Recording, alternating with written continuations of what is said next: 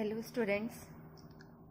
Today I am going to teach you the last topic of chapter 3rd Safety and First Aid of class 4th.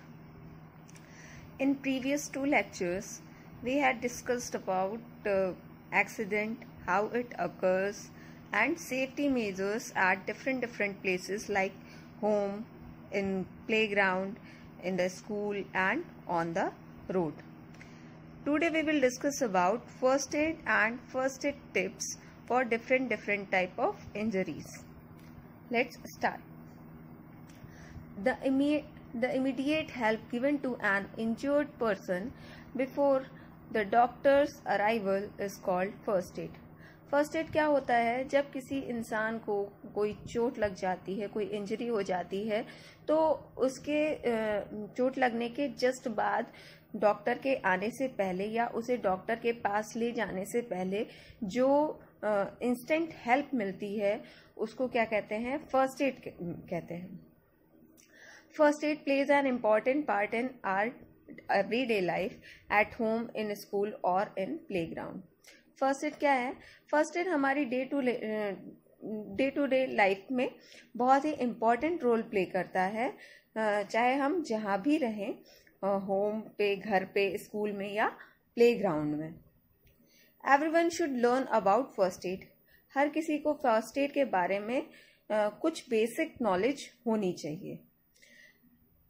The injured person should be taken to doctor after giving first aid.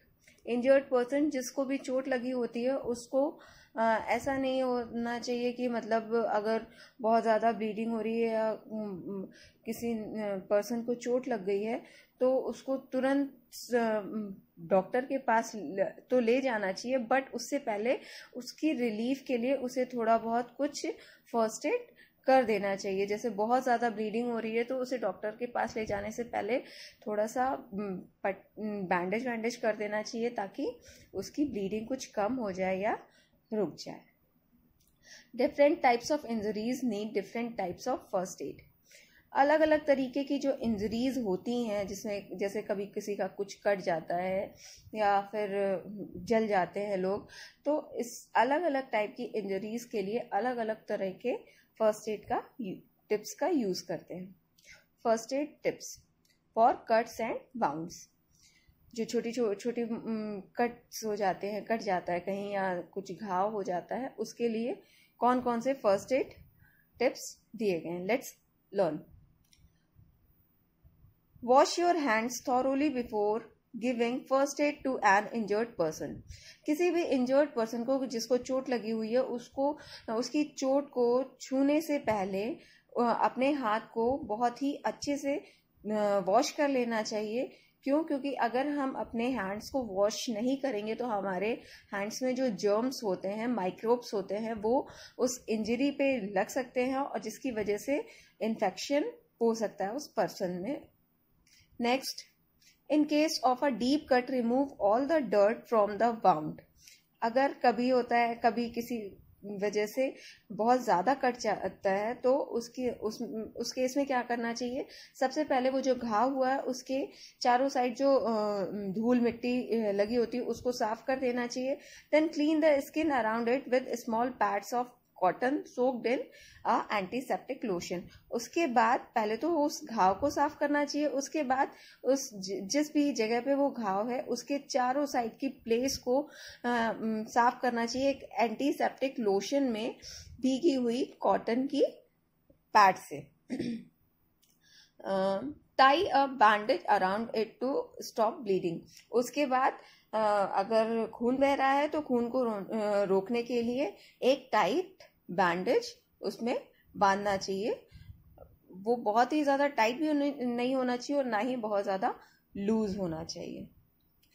Next put a bandaid for a minor cut और अगर छोटा कहीं हल्का कटा हुआ है तो उस केस में जो ब्राउन कलर का एक बैंडेड आता है आप सभी ने देखा भी होगा, उसे उस इंजरी वाले प्लेस पे प्लेस कर देना चाहिए।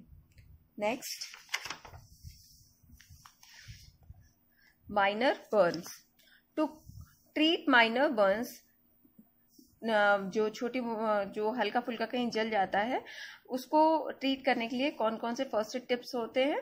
Let's see keep the burned area under cold running water जो भी एरिया हमारा जल जाता है उसको तुरंत ही ठंडे पानी में डालना चाहिए या टैप के नीचे ले जाके उसे धुलना चाहिए ताकि वहाँ पे जो जलन हो रही है वो कम हो सके। Next put an ice pack on the burn area for a few second क्या होता है जो जिस एरिया पे जल गया है, उस पर तुरंत आइस पैक रखना चाहिए, और या अगर आइस पैक नहीं होता है तो फ्रिज में जो फ्रीजर में आइस क्यूब्स होती हैं, उनको किसी कॉटन के कपड़े में रख के उस बर्ड एरिया के ऊपर लगाना चाहिए, उससे हमें रिलीफ मिलेगी।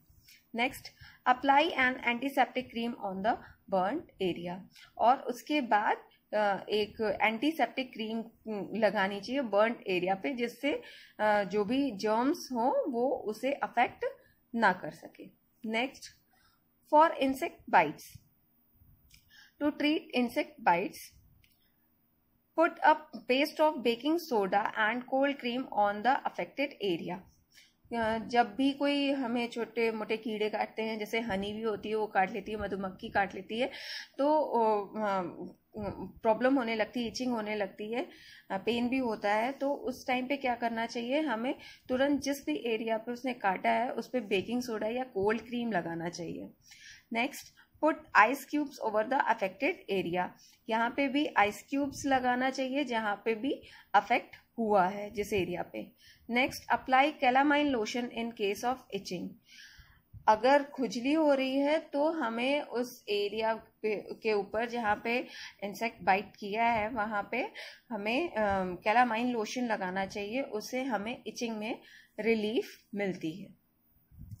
Next if a person faints जब कोई पर्सन बेहोश हो जाता है तो क्या होता है?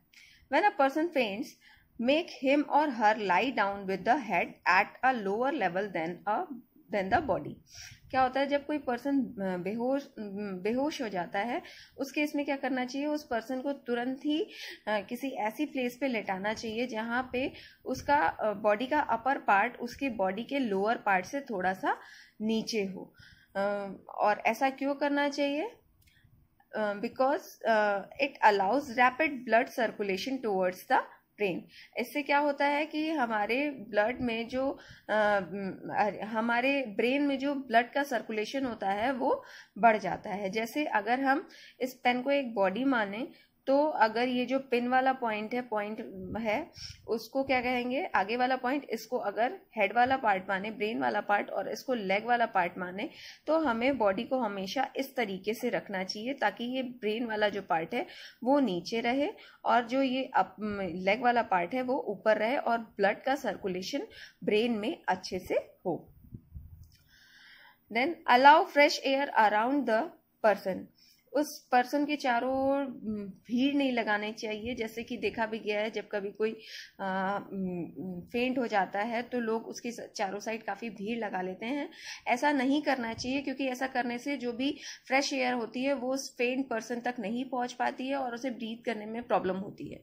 और जब वो फ्रेश एयर उसके पास तक पहुंचेगी, वहाँ भीड़ नहीं होगी तो वो जो पर्सन फेंट हुआ है, बेहोश हुआ है, वो ब्रीथ अच्छे से कर पाएगा।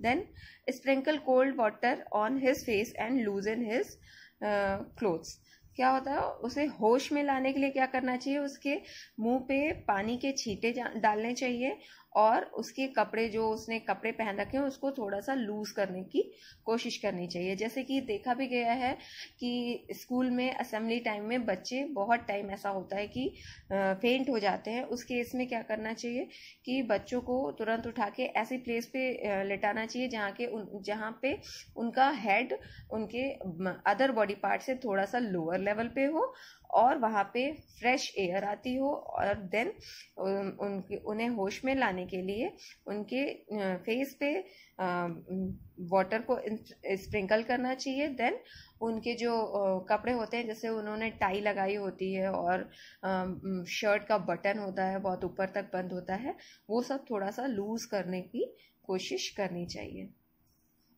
ये फिगर भी शो किया गया है कि ये पर्सन फेंट हो गया है और उसको ऐसे लेटाया गया है कि उसका जो अपर वाला बॉडी पार्ट है, वो उसके लोअर बॉडी पार्ट से थोड़ा सा नीचे है। Next nose bleeding for nose bleeding जब कभी नाक से ब्लड आने लगता है उस केस में क्या करना चाहिए? In case of nose bleeding pinch the nose for seven to eight minutes and lean slightly forward till bleeding stops जब ब्लड आने लगता है उस केस में क्या करना चाहिए? हमें न, जिसकी भी नाक से ब्लड आ रहा है, उससे अपनी नोज़ को सेवन टू एट मिनट्स के लिए पिंच करके दबा करके रखना चाहिए और अपनी बॉडी को थोड़ा सा आगे के साइड झुका लेना चाहिए, तब तक के लिए जब तक कि ब्लीडिंग रुक नहीं जाती स्टॉप नहीं हो जाती। Next put a cold wet towel on the face उसके बाद उसे अपने फेस पे एक भीगी, ठंडे पानी से भीगी हुई टाल या हैंकी रखनी चाहिए। The mouth should be open so that the person can breathe through mouth क्या होता है? और उसे अपने माउथ को मुँह को ओपन रखना चाहिए ताकि वो अपने माउथ के थ्रू इजीली ब्रीथ कर सके, जबकि उसने अपनी नोज़ को पिंच करके रखा हुआ है। जैसा कि इस फिगर में भी दिखाया गया है कि इस बच्चे की नोज़ ब्लीडिंग हो रही है। उस टाइम पे इसने क्या कर रखा है? अपने नोज़ को वेट हैंकी से कवर कर रखा है और पिंच करके रखा है। और अपनी जो ये बॉडी है बॉडी को आगे के साइड थोड़ा सा स्लाइटली बेंड करके रखा हुआ है, आगे के साइड झुका करके रखा हुआ है। First aid first aid box we should we all must have a first aid box in our homes and school हमारे घर में और स्कूल में एक फ़र्स्ट एड बॉक्स ज़रूर होना चाहिए। क्यों होना चाहिए? क्योंकि आ, हमें कभी भी कभी एक्सीडेंट्स होते रहते हैं और आ, उस एक्सीडेंट्स से जो इंजरी हो जाती है उस इंजरी को ट्रीट करने के लिए हमें घर में फ़र्स्ट एड बॉक्स रखने चाहिए। घर में, स्कूल में हर जगह रखने चाहिए। स्कूल में प्लेग्राउंड में बच्चे खेलते रहते हैं, तब कोई इंजरी हो जाती तो उन सिचुएशन को हैंडल करने के लिए फ़र्स्ट एड बॉक्स होना कंपलसरी है। The first aid box should contain an antiseptic lotion sterilized gauze and cotton pad a pair of scissor bandaid crepe bandage and antiseptic cream first aid box में क्या क्या चीज़ें होनी ज़रूरी हैं, होनी चाहिए। एंटी एंटीसेप्टिक लोशन होना चाहिए स्टेलाइज्ड गॉज होनी चाहिए, यानी पट्टी होनी चाहिए, कॉटन पैड्स होने चाहिए, रुई होनी चाहिए कैची होनी चाहिए बैंडेड होना चाहिए क्रैप बैंडेज होना चाहिए जो कि मोच वोच जब लग जाती है, उस टाइम पे काम आता है और एंटीसेप्टिक क्रीम होनी चाहिए। Okay class? Thank you. This is all about your chapter 3 of class 4th. Thank you.